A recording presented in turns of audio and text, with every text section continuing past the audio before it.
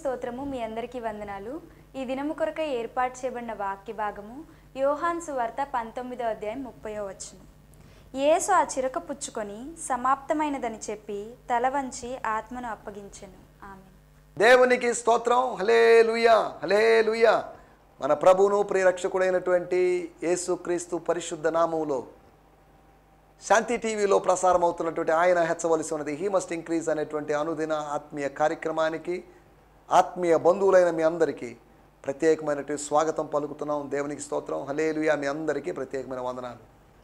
May God bless you hallelujah స్తోత్రం. మరొక పర్యాయం. ఇలా మీ ముందుకు రావడానికి ప్రభు నాకు ఇచ్చినట్టు అవకాశాన్ని బట్టి నేను దేవుని స్థుతిస్తున్నాను. ప్రభు కృపను బట్టి వెయ్యిన్ని తొంభై ఎపిసోడ్లు చేయడానికి ప్రభు సాయం చేశాడు. ఇంకా మనం ఇక్కడితో ఆగడం లేదు. ఆగిపోవడం లేదు కానీ మనం సాగిపోతున్నాం. సాగిపోవడానికి సహాయం చేస్తున్నటువంటి స్వర్గాన్ని బట్టి నేను స్థుతిస్తున్నాను. సాగిపోవడానికి ఆయన సహాయం చేస్తున్నాడు. స్వర్గములో ఉన్నటువంటి దేవుడు. సృష్టికర్త అయిన దేవుడు సహాయం చేస్తున్నాడు. ఆయన సహాయం లేనిదే మనం సాగిపోలేం ఆయన సహాయ నిరాకరణ చేశాడనుకోండి మనం ఆగిపోయి ఉండేవాళ్ళం. ఆయన సహాయం అందుతూ ఉంది. ఆయన సహాయం ఒక ప్రవాహంలాగా మన దగ్గరికి వస్తుంది కాబట్టి మనం ముందుకు సాగుతున్నాం. ఆయన మనల్ని పుష్ చేస్తున్నాడు. ఆయన మనల్ని నెడుతున్నాడు. ఆయన తోస్తున్నాడు. వెళ్ళండి వెళ్ళండి వెళ్ళండి అన్నట్టుగా. గో గో గో అంటున్నాడు.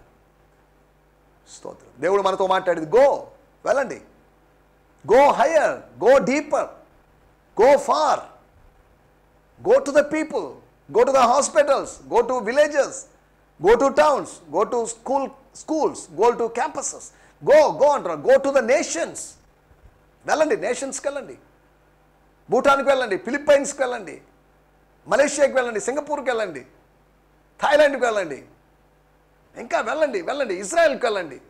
అమెరికాకి వెళ్ళండి ఆఫ్రికాకి వెళ్ళండి. వెళ్ళమని చెప్తున్నాడు. హీ సేస్ గో దేవుడు చెప్తున్న మాట వెళ్ళండి వెళ్ళండి. స్తోత్రం. ఇప్పటి వరకు వెళ్ళలేకపోతే వెళ్ళడానికి ప్రభు మనకు సహాయం చేయనుగాక. ప్రభు సహాయం చేస్తే మనం ఎక్కడికైనా వెళ్ళగలం. బూది గంతముల వరకు వెళ్ళగలం. బూది గంతముల వరకు సాక్షులుగా ఉండడానికి. సైట్ సీయింగ్ కాదు. షాపింగ్ కాదు. బూదిగంతముల వరకు మీరు నాకు సాక్షులై ఉంటారు. బూదిగంతముల వరకు వెళ్ళి షాపింగ్ చేసుకుంటూ కూర్చుంటారు. సైట్ సీయింగ్ చూసుకుంటూ ఉంటారని కాదు. భూదిగంతముల వరకు మనం సాక్షులుగా ఉండాల్సిన అవసరం ఉంది. దేవుడు పంపించాలి. మనలో అనేక మంది పంపించాలి. నెల్లూరు జిల్లా నుంచి నెల్లూరు టౌన్ నుంచి కొంతమంది పాస్టర్ని దేవుడు దేశ విదేశాలకు పంపించాలి. సైట్ సీయింగ్లకో పాస్టర్ల కాన్ఫరెన్స్లకు కాదు పంపించాల్సింది. స్వార్థ ప్రకటించడానికి వాక్యం ప్రకటించడానికి వాక్యం బోధించడానికి స్తోత్రం. హలేలుయా హలేలుయా స్తోత్రం. ప్రభు కృపను బట్టి వేరు వేరు ప్రదేశాల్లో ఆంధ్రప్రదేశ్లోనే కాదు ఇంచుమించు భారతదేశంలోనే పన్నెండు పదమూడు రాష్ట్రాలకు పైగా వెళ్ళడానికి దేవుని వాక్యం ప్రకటించడానికి దేవుడు నాకు సాయం చేశాడు. అనేక వందల వేల గ్రామాలు వెళ్ళడానికి ప్రభు నాకు సాయం చేశాడు. స్తోత్రం. హలేలుయ హలేలుయ ఇవన్నీ నాకు అసాధ్యమైన కార్యాలు కానీ ఆయనకు సుసాధ్యమైన కార్యాలు. దేవునికి స్తోత్రం. హలేలుయ గత ఎపిసోడ్లో నిన్నటి ఎపిసోడ్లో మనము ఒక విషయం ఆలోచించాం. వంతెన లాంటి వ్యక్తి అనగా a person like a bridge. ఆయన గురించి మనము మాట్లాడుకున్నాం వంతెన లాంటి వ్యక్తి ఆయన వంతెనలాగా ఎవరెవరిని కలిపాడు అనేటువంటి విషయాలు మనం ఆలోచించాం. ఏసు వంతెన లాంటివాడు. స్వర్గానికి భూమికి వేయబడిన నిచ్చెన కొన్ని వేల సంవత్సరాల క్రితం ఈ లోకానికి వచ్చిన నిచ్చెన. ఆకాశంలో వాళ్ళు ఆకాశంలోనే ఉండిపోయారు భూమి మీద ఉన్న వాళ్ళు భూమి మీద ఉండిపోయారు. దేవదూతలు ఎక్కుతూ దిగుతూ ఉన్నారట. దేవదూతలు ఎక్కుతూ దిగుతూ ఉండాలంటే నిచ్చెన కావాల్సి వచ్చింది. అవునండి నిచ్చెన లేకుండా గబ్రియల దేవదూత వచ్చాడు కదా? అవును. కానీ నిచ్చెన వేయబడినప్పుడు మాత్రం దేవదూతలు దిగుతూ ఉన్నారని కాదు. దిగిన వాళ్ళు ఎంతమంది ఎక్కుతున్నారు ఎంతమంది దిగుతున్నారో మనకు తెలియదు. ఎక్కుతూ దిగుతూ ఎక్కుతూ దిగుతున్నారు. అనగా there is a possibility there is a door open to have access to go to heaven enter to heaven అనగా నిత్యత్వములోకి ఇటర్నిటీలోకి మనం ప్రవేశించడానికి మనకు ఒక ద్వారం తెరవబడింది. పరిశుద్ధ స్థలానికి అతి పరిశుద్ధ స్థలానికి మధ్యలో ఉన్న తెర చినిగిపోయింది చూసారా దేవాలయపు తెర నడిమికి చినిగిన రాయబడింది చూసారా ఇక ఇట్స్ ఓపెన్. ఇంతకుముందు ఓపెన్ కాదు ఇట్స్ ఎ సీక్రెట్. ఇంతకుముందు ఇది mystery now it's not a mystery everything is visible everything is transparent ప్రతిదీ పారదర్శకంగా కనిపిస్తుంది. ఏం జరుగుతుంది ఏంటి అనేది. He made it as open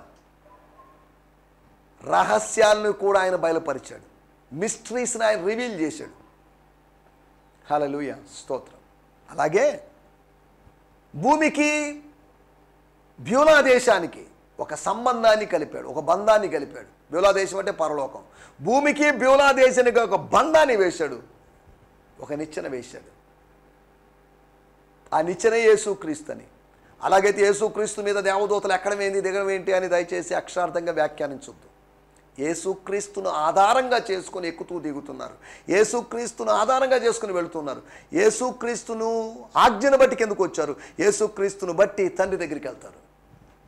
స్తోత్రం. హల్లెలూయా. నా ద్వారా తప్ప ఎవ్వడను తండ్రి వద్దకు రాలేడు. అనగా క్రైస్తవేతర మన ముస్లిం సోదరులకు చెప్పాలంటే జన్నత్తుకు వెళ్ళలేరు. ఈసాలే సలాం ఖలీమతుల్లా ఆయన ద్వారా మాత్రమే వెళ్ళగలం. దేవుని స్తోత్రం హలేలుయ ఈసా నభీ ద్వారా మాత్రమే వెళ్ళగలం. సరే దేవుని స్తోత్రం మన టెంట్లోకి మనం వెళ్ళలేదు. గత ఎపిసోడ్లో వంతెన లాంటి వ్యక్తి ఆయన సైనికులను గలిపాడని వస్త్రాలు పంచుకుంటున్నటువంటి. యేసు యొక్క వస్త్రాల మీద ఆశ కలిగి దాన్ని నాలుగు ముక్కలుగా చింపుకొని యేసు యొక్క అంగీని చింపకుండా ఎవరికి చీటీ ప్రకారం ఎవరికి అని పంచుకోవాలని యేసు వస్త్రాల మీద వ్యామోహం పెంచుకున్నటువంటి వ్యక్తులను కలిపినటువంటి ప్రవచనాత్మకమైనటువంటి నెరవేర్పును మనం అక్కడ చూస్తున్నాం. రెండోది ఆయన సభ్యులను గలిపాడని అనగా మరియను యోహానుని. అనగా మరియకి యోహానికి మధ్యలో ఏదో గ్యాప్ ఉంది వాళ్ళ మధ్యలో గొడవలు ఉన్నాయని. దాని అర్థం అది కాదు. చేర్చుకున్నాడు. ఆమెను చేర్చుకోవడానికి ఆమె సహోదరి ఉంది. ఆమెను చేర్చుకోవడానికి క్లోపా భార్య అయినటువంటి మరి ఉంది. ఆమెను చేర్చుకోవడానికి మగ్ధలేని మరి ఉంది. కానీ ఆమెను చేర్చుకోవడానికి దేవుడు ఒక వ్యక్తిని దేవుని కుమారుడు ఒక వ్యక్తిని సూచించాడు. వెంటనే మరి ఉండే అయ్యా నాకు యోహాన్తో ఉండాలంటే కష్టం. మా చెల్లి ఉంది కదా మా చెల్లితో పాటు ఉంటాను నేను అని లేదు. లేకపోతే ఏడు దెయ్యాలు వెళ్ళగొట్టినట్టే మగ్ధులైన మరీ ఉంది కదా ఆమెతో పాటు ఉండిపోతానని ఇద్దరు అడ్జస్ట్ అయిపోతాంలే. ఎలాగూ నా భర్త అనగా మీ భౌతికమైన తండ్రి యోసేపు గారు చనిపోయారు కదా నేనేం చేస్తాను. ఎక్కడో ఉండిపోతానులే. యేసుకు మిగిలినటువంటి కుమారులు కుమార్తెలు మరియకు మిగిలిన కుమారులు కుమార్తెలు ఉన్నట్లయితే వాళ్ళ దగ్గరికి వాళ్ళకెందుకు అప్పగించలేదు? కాబట్టి దీన్ని ఆధారంగా చేసుకొని మరియకు యేసు తప్ప వేరే వాళ్ళు ఎవరు లేరని కొంతమంది వాదిస్తున్నారు. సరే ఇప్పుడు వాటి వాదనలోకి వెళ్ళలేదు. యేసు తర్వాత మరేకు ప- పిల్లలు ఉన్నారా సంతానం పుట్టారా లేదా అనేటి వివాదాల్లోకి మనం వెళ్ళలేదు. స్తోత్రం. హల్లెలూయా స్తోత్రం. మనం ఆలోచిస్తున్నట్టు విషయాలు. వంతెన లాంటి వ్యక్తి ఆయన సైనికుల్ని గెలిపాడని ఆయన సభ్యులను గలిపాడని శిష్యులను గలిపాడని అనగా రహస్య శిష్యులను గలిపాడని. అంతేకాకుండా సింహాసనం మీద ఉన్న వాళ్ళని కలిపాడని అనగా అధికారులని అనగా హేరోదుని పిలాతును కలిపాడని అంతేకాకుండా సత్యమైనవి అనగా ఆత్మ సత్యమే పరమాత్మ సత్యము. సత్యములను కలిపాడని ఆత్మ పరమాత్మలను కలిపాడని తన ఆత్మను పరమాత్మతో కలుపుకున్నాడని లీనం చేసుకున్నాడని స్తోత్రం. మనం ఇలా మాట్లాడతాం తండ్రి నీ చేతికి నా ఆత్మను అప్పగిస్తున్నాను అని చెప్పి అప్పగించుకోవడం ద్వారా సమాప్తమైనదని చెప్పి తల ఉంచి ఆత్మను అప్పగించుకోవడం ద్వారా జరిగిన విషయాల గురించి మనం మాట్లాడుకున్నాం. అంతేకాకుండా నికోదేము మరియు అరిమత యోసేపు వాళ్ళ మధ్యలో బంధాలు ఉన్నాయి. వాళ్ళ మధ్యలో బంధాలు లేకపోవడం ఏంటి? వాళ్ళు సన్నిహితుని ఒకే ఆర్గనైజేషన్లో మెంబర్స్ వాళ్ళ మధ్యలో రిలేషన్స్ ఉన్నాయి. కానీ ఆ రిలేషన్ డీప్ అయింది. యేసును బట్టి ఆ రిలేషన్ స్ట్రాంగ్ అయింది. యేసును బట్టి మన బంధాలు బలపడాలి. యేసును బట్టి మన బంధాలు తెంపుకోవద్దు. ఆయన నీకు నాకు సంబంధం లేదండి. యేసు వచ్చాడు చిచ్చు పెట్టాడు మన మధ్యలో కలం పెట్టాడు మనల్ని విభజించాడు అనేది ఉండకూడదు. డివైడ్ అండ్ రూల్ అనేటువంటి విధానం కాదు యేసుది. యునైట్ అండ్ రూల్ అనేటువంటి విధానమే యేసుది. రెండు రాష్ట్రాలు విభజన అయిన తర్వాత ఈ మధ్య కాలంలో స్టేట్మెంట్ నేను పేపర్లో చూసిన పెద్ద పేపర్లు కూడా చూడను. ఆదివారం సోమవారం తప్ప మిగతా రోజులు చూసే టైం లేదు నాకు. ఈ ఎనిమిది సంవత్సరాల తర్వాత మళ్ళీ రెండు రాష్ట్రాలను కలుపుతాం చేస్తాం అనేటువంటి స్టేట్మెంట్లు కనిపించాయి. నాకు నవ్వు వచ్చింది. ఒకసారి విడిపోయారు మళ్ళీ ఎక్కడ కలుసుకుంటారు? కలుసుకోవడం అసాధ్యం నేను అనడం లేదు. పొలిటికల్గా నేను మాట్లాడటం లేదండి. జనరల్గా నేను మాట్లాడుతున్నాను. అసలు ఎందుకు విడిపోయారు? ఎందుకు కలవాలనుకుంటున్నారు మీరు? వాళ్ళని ఏదో ఏదో పార్టీ వాళ్ళని ప్రశ్నిస్తున్నానే కాదు. అనగా ప్రభుత్వాలు మనుషులు రాజకీయాలు లేకపోతే రాజకీయ నాయకులు విభజిస్తారేమో కానీ ఏసు కలుపుతాడు. మాటి మాటి కలిపి మళ్ళీ విడగొట్టి కలిపి విడగొట్టి కలిపి విడగొట్టేని అని కాదు.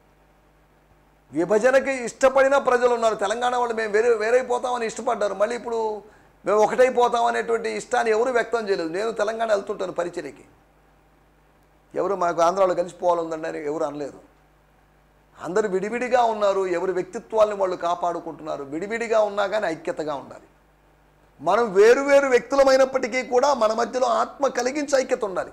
వేరు వేరు డినామినేషన్లు అయినప్పటికీ వేరు వేరు చర్చలు అయినప్పటికీ వేరు వేరు ప్రోగ్రాములు అయినప్పటికీ కూడా మన మధ్యలో ఆత్మ సంబంధమైన ఐక్యత ఉండాలి.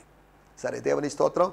యేసు సైనికులను కలిపాడని సభ్యులను కలిపాడని సత్యాల్ని కలిపాడని అనగా ఆత్మ పరమాత్మ అనేటువంటి సత్యాల్ని అంతేకాకుండా శిష్యుల్ని గలిపాడని అనగా రహస్య శిష్యుల్ని కలిపాడని అంతేకాకుండా సింహాసనం మీద ఉన్న వారిని కలిపాడని ఐదు విషయాలు మనం గత ఎపిసోడ్లో ఆలోచించాం. దేవుని స్తోత్రం. హలేలుయా దయచేసి జ్ఞాపకం చేసుకోండి మీకు ఎటువంటి ప్రార్థనా మనవులు ఉన్నా మీరు ఇమీడియట్లీ తెలియజేయండి. అంతేకాకుండా నేను బోధిస్తున్న విషయాలు మీకు ఏమైనా సందేహాలు ఉన్నట్లయితే మీకు ఏమైనా డౌట్స్ కానీ మీరు ఏదైనా చెప్పదలుచుకున్నా మీరు ఇంకా ఏదైనా పాయింట్ యాడ్ చేయదలుచుకున్నా ఏదైనా వివరణ మీరు కోరినా దయచేసి నేడే ఇప్పుడే సంప్రదించండి. నా వాట్సాప్ నంబర్లు నా నంబర్లు ఫోన్ నంబర్స్ ఇక్కడ డిస్ప్లే అవుతున్నాయి. నా ఈమెయిల్ ఐడి కూడా ఉంది GFI HMI two thousand fifteen at Gmail dot com GFI అంటే GFI Gideon Fellowship International Gideon Fellowship International HMI అనగా he must increase he must increase అనగా ఏసు హెచ్చించబడాలి.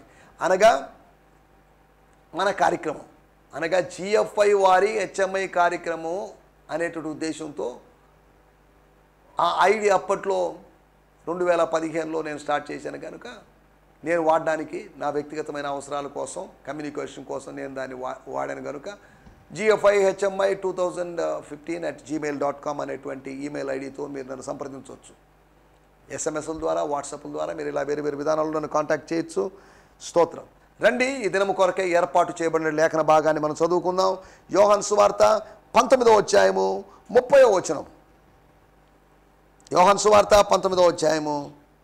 యేసు ఆ చిరక పుచ్చుకొని యేసు ఆ చిరక పుచ్చుకొని సమాప్తమైనదని చెప్పి.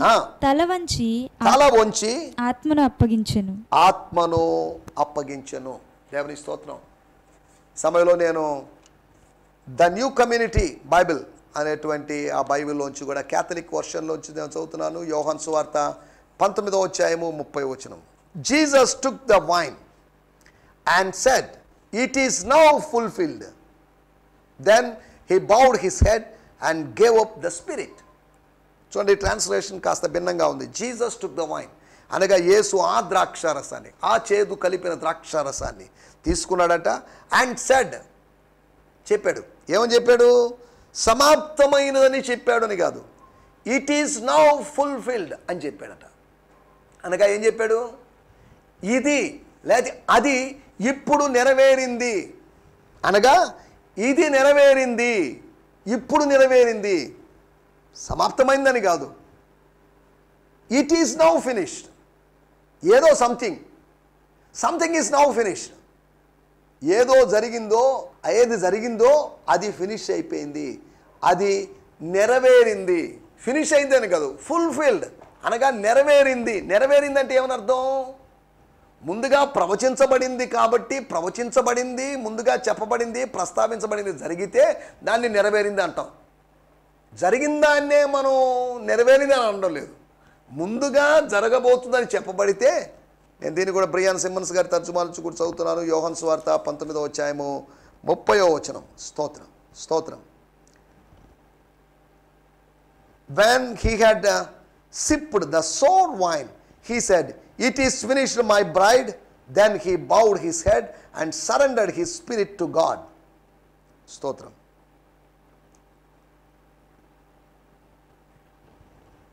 ఇక్కడ ఒక భిన్నంగా కనిపిస్తుంది తర్జుమా. When he had sipped the ఎప్పుడైతే ఆ చేదు రసాన్ని చేదు ద్రాక్ష రసాన్ని ఆయన చప్పరిచ్చాడో he said it is finished my bride అనగా నా పెళ్ళి కుమార్తె ఇది ముగించబడింది ఇది పూర్తయింది అని చెప్పాడు. ఇదేంటిది? It is finish my bride అనేటువంటి తర్జుమా ఎలా వచ్చింది? మాట ఎలా వచ్చింది? ఫుట్ నోట్లో రాసింది. This is from the Hebrew word kala which has homonym that means fulfilled fulfilled అంటే ఆ మాటకు ఉపయోగించబడే కాల అనేటువంటి మాట యొక్క అర్థం బ్రైడ్ అనగా వధువు. బ్రైడ్ గ్రూమ్ కాదు. వధువు లేకపోతే పెళ్ళి కూతురు అని అర్థం. ఇట్ ఈస్ ఫినిష్ నా వధువా? లేకపోతే నా పెళ్ళి కుమార్తె? ఇది ఫినిష్ అయిపోయింది అని చెప్తున్నాడు. Jesus finish the work of for salvation for his bride తన పెళ్ళి కుమార్తె కొరకు ఆయన తన పనిని ముగించాడు. స్తోత్రం. దానికి సంబంధించిన నోట్స్ ఎక్కడ రాస్తున్నారు సరే మనం మనం వాటిలోకి వెళ్ళలేదు. Then he bowed his head and surrendered his spirit to God ఆయన తల వంచి తన ఆత్మను సరెండర్ టు గాడ్ ఎవరికి అప్పగించాడు? దేవునికి అప్పగించాడు అనేటువంటి మాటను మనం బ్రియాన్ సిమ్మన్స్ గారి తర్జుమాలు చూస్తున్నాం. వాడుక భాషలో తర్జుమాలు చూ చూద్దాం. తెలుగులో చదువుదాం. డబ్ల్యూబీటీసీ వాళ్ళ బైబిల్ బెంగళూరు వాళ్ళ పబ్లికేషన్. ఆయన దాన్ని రుచి చూచి ఆయన దాన్ని రుచి చూచి అంతా ముగిసింది అని అన్నాడు. అంతా ముగిసింది అని అన్నాడు. అని అన్నాడు. ఆ మాట. అన్నాక. తలవాల్చి ఆత్మను అప్పగించాడు. ఆ మాట అన్న తర్వాత ఆ మాట పలికిన తర్వాత తల వాల్చాడు తల వంచేశాడు తల దించుకున్నాడు. ఆత్మను అప్పగించాడు. అరామిక్ బైబిల్లో ఇలా రాయబడింది బీహోల్డ్ ఇట్ ఈస్ ఫినిష్డ్. అంటే దాని అర్థం ఇదిగో ఇది సమాప్తమైంది. ఇదిగో అనేటువంటి మాట బీహోల్డ్ అనే మాట ఇక్కడ లేదు. అని అంటే మన తెలుగులోనూ ఇంగ్లీష్లో లేదు. అరామిక్లోని తర్జుమాలో యేసు ఆ చిరకను పుచ్చుకొని ఇదిగో సమాప్తమైనదని చెప్పి తన తల ఉంచి తన ఆత్మను అప్పగించను. తన తల ఉంచి తన ఆత్మను తన తండ్రికి అప్పగించాడు. స్తోత్రం. అలెలుయ తాను సమాప్తం చేశాడని తాను పలికి తల వంచి తన తల వంచి తన ఆత్మను తన తండ్రికి అప్పగించాడు.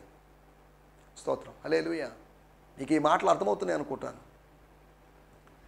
నా ప్రయాసం టెక్స్ట్ తీసుకున్న వాక్య భాగం మీకు అర్థం కావడానికి దానికి వివరణ ఇవ్వడానికి దానికి ఒక న్యాయం చేయడానికి వేరు వేరు తర్జుమాలోకి వెళ్ళి రకరకాలుగా ఆలోచించి రకరకాల కోణాలోంచి వెళ్తూ నా ప్రయత్నం నేను చేస్తున్నాను. డూబే రేమ్స్ అనేటువంటి బైబిల్ అది కూడా క్యాథలిక్ వర్షన్ ఆ వర్షన్లో ఇట్ ఈస్ కన్సుమేటెడ్ అని రాయబడింది. ఇట్ ఈస్ కన్సుమేటెడ్ అంటే దాని అర్థం ఇది సంపూర్ణమైనది. చూడండి సమాప్తమైనది అనేటువంటి ఒక తర్జుమా ఇదిగో సమాప్తమైనది ఇది నెరవేరింది అనేటువంటి ఒక తర్జుమా అంతేకాకుండా ఇది నెరవేరింది నా వధువ అని చెప్పడం ఇటువంటి విషయాలు మనం అక్కడ చూసాం తర్వాత ప్రాముఖ్యంగా ఒక మాటను కూడా నేను మీకు గుర్తు చేస్తాను. హిందీ బైబిల్లో రాయబడిన మాట యోహన్ స్వార్థ పంతొమ్మిదో వచ్చాయి ముప్పై వచ్చినలో మాట సిర్ జుకాకర్ అనగా తలను వంచి తలను బెండ్ చేసి క్లైనస్ అన్నారు. క్లైనస్ అంటే బెండ్ వంచడం. అనగా వాలిపోయినట్టుగా వాడిపోయినట్టుగా వంగడం అని అర్థం. వంచి అక్కడ ఏం జరిగింది? ఏమన్నాడు? ప్రాణ్ త్యాగ్ దియా ఉస్నే సిర్ జుకాకర్ అనగా శిరస్సును వంచి అనగా తల వంచి తల దించి తల దించి అంటే మళ్ళీ అవమానకరంగా తలదించుకున్నాడని కాదు. సుఖపడి తల దించుకున్నాడని కాదు అని అర్థం. ఆ తల వంచి ఏమైంది? సిర్ జుకాకర్ ప్రాణత్యాగ్య అనగా ప్రాణత్యాగము చేశాడు. ఈ మాటే నాకు నచ్చింది. అంటే మిగతా మాటలు మంచివి కాదని కదా అని అర్థం. త్యాగము చేశాడు. మన టైటిల్ అదే యేసు యొక్క త్యాగం. ప్రాణత్యాగం చేశాడు. యేసు యొక్క మరణం మామూలు మరణం రోగం వచ్చి రోగశైలో ఉండి బెడ్ సోర్స్ వచ్చి కుళ్ళిపోయి అక్కడ ఇలా చచ్చిపోయాడని కాదు. యేసు యొక్క మరణం అద్భుతమైన మరణం. యేసు యొక్క మరణం ఆశ్చర్యకరమైన మరణం. ఆయన జననం ఆశ్చర్యమే ఆయన జీవితం ఆయనకు సంబంధించిన ప్రతిదీ ఆశ్చర్యమే. ఆయన ఆశ్చర్యకరుడు. ఆయన అద్భుతకరుడు. దేవుడి స్తోత్రం. హలేలుయా ఆయన చేసినటువంటి ప్రాణత్యాగం సిలువయాగం బలియాగం సిలువయాగం. దాని గురించి మనం మాట్లాడుకోబోతున్నాం. యేసు యొక్క త్యాగం. ఇన్ని తర్జుమాలోంచి నేను ఎందుకు చెప్తున్నా అంటే మనం దీన్ని అర్థం చేసుకోవాలి. స్తోత్రం. హలేలుయా హలేలుయా ఒకవేళ ఈ సందేశంలో కొన్ని మాటలు అవి తర్జుమాలు మీకు అర్థం కాకపోతే దాన్ని మళ్ళీ కొద్దిగా రివైండ్ చేసి కొద్దిగా కాస్త వెనక్కి వెళ్ళిపోయి మళ్ళీ మొదటి నుంచి విని ఈ టెక్స్ట్ మనం తీసుకున్న మూలవాక్యం. మనం తీసుకున్న మూలవాక్యం యేసు ఆ చిరకను పుచ్చుకొని ఆ సోర్ వైన్ ఫర్మెంటెడ్ వైన్ తీసుకొని లేకపోతే ఆ చెరకును పుచ్చుకొని స్వీకరించి అంగీకరించి సమాప్తమైందని చెప్పి తల వంచి ఆత్మను అప్పగించను దేవునికి అప్పగించను తన్ను పంపిన వానికి అప్పగించను.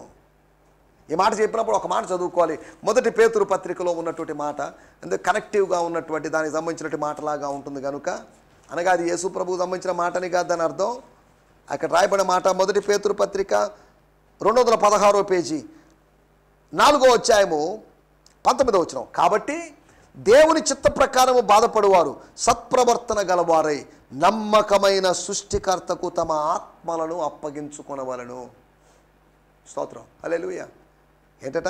దేవుని చిత్త ప్రకారం బాధపడువారు సులువు వేయబడినటువంటి యేసు సత్ప్రవర్తన కలిగిన వాడై సనుగుడు గొనుగుడు లేనివాడై ఆవేశపడిన వాడై శాంతమూర్తిగా మారి నమ్మకమైన సృష్టికర్తకు తమ ఆత్మలను అప్పగించుకోవాలి.